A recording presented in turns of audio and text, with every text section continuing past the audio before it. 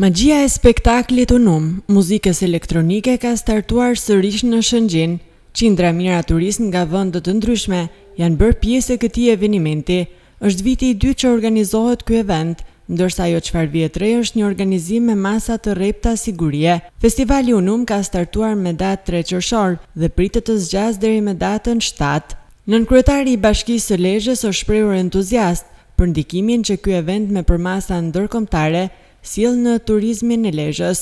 Shëngjini që nga dje, në fakt është kthyer pika qendrore turistike jo vetëm e Shqipërisë, por kam idenë e gjithë rajonit. Janë mijëra turistë vendas dhe të huaj, kryesisht të rinj, që kanë vizituar qytetin e e Shëngjinit, bregdetin, pastaj për të marrë pjesë në në në në festivalin Unum.